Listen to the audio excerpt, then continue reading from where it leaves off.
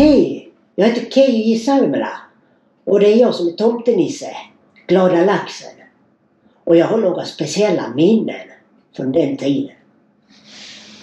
Och jag har en fråga till er. Iva och Lillan, de hittar tomtens e-mailadress och skriver ihop en önskelista. Och vad är det de önskar sig? Aha!